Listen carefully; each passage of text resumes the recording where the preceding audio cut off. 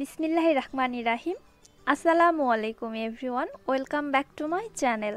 নতুন আরও একটি রেসিপি দেখার আমন্ত্রণ জানাচ্ছি আপনাদের সকলকে। আজকের পর্বে তৈরি করছি মাত্র এক কাপ সুজি দিয়ে ভীষণ মুচমুচে একটি নাস্তার রেসিপি। বিকেলের চায়ের আড্ডাতে অথবা বর্ষার এই বিকেলে আপনারা এই নাস্তাটি মাত্র 10 মিনিটেই তৈরি করে নিতে পারবেন। আশা করছি রেসিপিটি আপনাদের কাছে খুবই ভালো লাগবে। চলুন তাহলে রেসিপিটি ঝটপট দেখে নেই। তার আগে ভিডিওতে অবশ্যই একটি লাইক দিয়ে দিবেন এবং এখনও যারা চ্যানেলটি সাবস্ক্রাইব করেননি, চ্যানেলটি সাবস্ক্রাইব করে পাশে থাকা বেল আইকনটিতে ক্লিক করে দিবেন। একটি প্যানে প্রথমেই নিচ্ছি এক টেবিল চামচ ঘি। ঘিটা যখন মেল্ট হয়ে আসবে, তখন এর মধ্যে দিচ্ছি এক কাপ সুজি। এবার সুজিটাকে ভেজে নিব, সুজির কাঁচা স্মেলটা চলে যাওয়া পর্যন্ত। আমি ঘি দিয়ে ভেজে নিচ্ছি, তাহলে এই নাস্তার মধ্যে খুব সুন্দর একটা ঘির ফ্লেভার আসে। এছাড়া আপনারা ঘি ছাড়াও শুধু শুকনো খোলাতেও কিন্তু ভেজে নিতে পারবেন। চুলার হিট মিডিয়াম টু লোয়ের মাঝামাঝি রেখে সুজিটা অনবরত নেড়েচেড়ে ভেজে নিচ্ছি, যেন সুজি পুড়ে না যায়। অলমোস্ট সুজিটা ভেজে নেওয়া হয়ে গিয়েছে, খুব সুন্দর একটা ফ্লেভার ছড়িয়েছে। এবারে এখানে আমি লিকুইড অ্যাড করব। আমি পানি দিয়ে এই ডোটি তৈরি করছি, তবে আপনারা দুধ দিয়েও তৈরি করতে পারেন। যেহেতু এক কাপ সুজি নিয়েছি, এজন্য ডাবল নিতে হবে পানি, অর্থাৎ দুই কাপ পানি দিয়ে দিচ্ছি। এবারে সঙ্গে সঙ্গে নেড়ে চেড়ে নিচ্ছি, সুজিটা যেন আবার দলা বেঁধে না যায়। সুজির মধ্যে থেকে যখন পানিটা কিছু টেনে এসেছে, অর্থাৎ ডোটা তৈরি হতে আরও কিছু সময় লাগবে, ঠিক ওই মুহূর্তে দিয়ে দিচ্ছি হাফ কাপ চিনি। চিনিটা দিয়ে এবার অনবরত নেড়ে চেড়ে এভাবে একটি শক্ত টাইপের ডো তৈরি করে নিতে হবে। ক্যামেরাটা অফ হয়ে গিয়েছিল, যার জন্য আমি আর নাড়ানোটা দেখাতে পারিনি। যখন দেখবেন প্যান থেকে ডোটি এরকম ছেড়ে আসছে, তখন প্যান থেকে নামিয়ে ডোটি একটি বোর্ডের উপর নিয়ে গরম থাকা অবস্থাতে হাত দিয়ে একটু মুথে নিচ্ছি। খুব বেশি ঠান্ডা করে ফেলানো যাবে না। হাতে স্পর্শ করা যায় এমন গরম থাকা অবস্থাতে ডোটি ভালো করে মুথে নিতে হবে যেন খুব সফট হয়ে আসে। তা না হলে কিন্তু এই নাস্তাগুলি ভালো হবে না। যত ভালো মুথে নিতে পারবেন, নাস্তাগুলি ততটাই ফুলকো হবে এবং মুচমুচে হবে। ডোটি প্রায় ছয় থেকে সাত মিনিট ধরে আমি অনবরত খুব ভালো করে মুথে নিয়েছি। আর ডোটি দেখুন, খুব সফট হয়ে এসেছে। এবার ডোটিকে সমান দুই ভাগে ভাগ করে নিলাম। এক ভাগ থেকে এবার একটি রুটি বেলে নিব।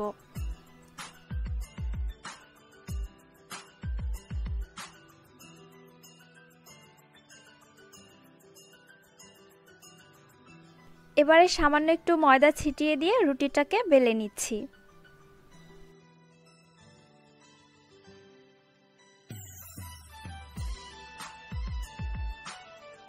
রুটিটা এমনভাবে বেলে নিতে হবে, খুব বেশি পাতলাও হবে না, আবার খুব বেশি মোটাও হবে না।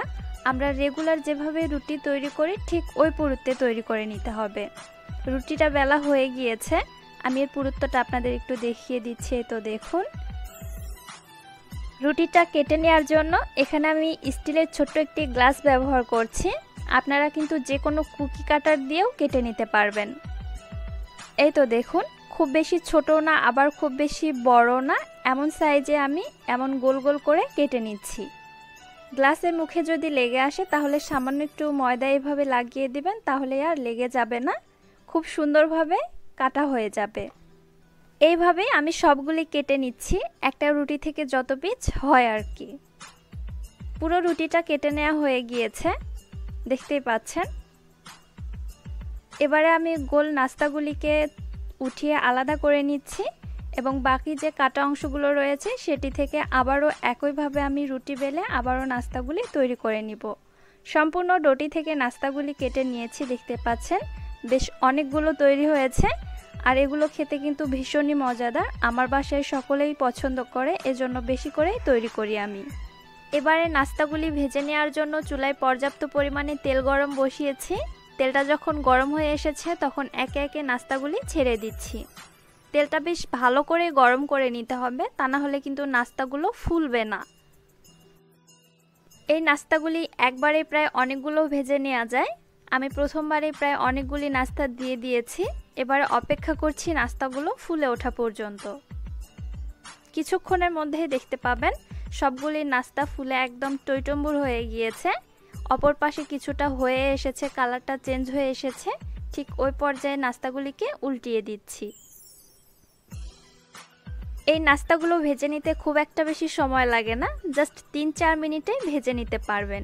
দুপাশে যখন সুন্দর একটা কালার এসেছে এবং ক্রিস্পি হয়ে গিয়েছে, ঠিক ওই মুহূর্তে এবারে তেল ঝরিয়ে উঠিয়ে নিচ্ছি। একইভাবে কিন্তু আমি সবগুলি নাস্তা ভেজে নিয়েছি। সবগুলি নাস্তায় একদম ফুলের টইটম্বুর হয়ে গিয়েছে এবং মুচমুচে হয়েছে। মাত্র এক কাপ সুজি দিয়ে ঝটপট তৈরি এই নাস্তাটি বাসায় অবশ্যই আপনারা ট্রাই করবেন। ছোট থেকে বড় সকলেই খুবই পছন্দ করবে। আশা করছি রেসিপিটি আপনাদের কাছে ভালো লেগেছে। রেসিপি ভালো লাগলে চ্যানেলটি সাবস্ক্রাইব করে পাশে থাকা বেলাইকনটিতে ক্লিক করে দিবেন। আমার পরবর্তী ভিডিও নোটিফিকেশন সবার আগে পাওয়ার জন্য। এবং রেসিপি রিলেটেড কোনো কোয়েশ্চেন থাকলে অবশ্যই আমাকে কমেন্ট সেকশনে কমেন্ট করে জানাবেন। আজকের মতো এখানেই বিদায় নিচ্ছি। আল্লাহ হাফেজ।